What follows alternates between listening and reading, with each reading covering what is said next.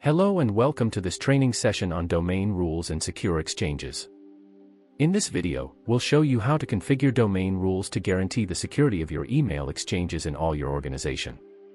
Domain rules define how secure exchanges should handle emails sent to different domains. If a domain is not configured, Secure Exchanges lets you choose whether or not the email should be secure. You can use rules to force the use of secure exchanges, or disable this protection for certain domains. The rules you configure will apply to all users of your account. To configure a domain rule, log into your account on the Secure Exchanges portal. Go to the Options tab, then select Manage Rules for Domains. Enter the domain for which you wish to create a rule, then select the rules you wish to apply from the drop-down list. Disabled, secure exchanges will not be used when communicating with this domain. Mandatory, the use of secure exchanges will be mandatory when communicating with this domain. Enable, secure exchanges will be enabled by default when communicating with this domain. This rule will also apply to users who have disabled the use of secure exchanges.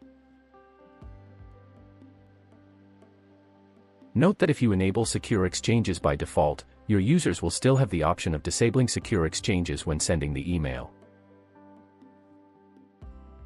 Next, determine the application context. Without file, this rule will apply to emails without attachments. With file, this rule will apply to emails with attachments. All emails this rule will apply to all emails sent to this domain.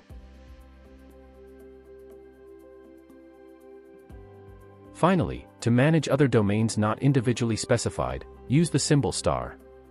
For example, you can disable secure exchanges when communicating with the gov.qc.ca domain, but force it to be used when communicating with other domains. To do this, you need only create two rules, a disabled rule for the gov.qc.ca domain.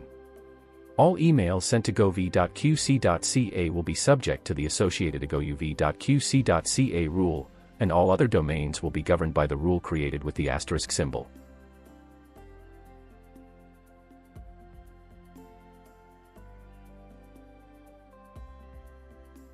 Important, if you send an email to several domains at the same time, the strictest rule will apply.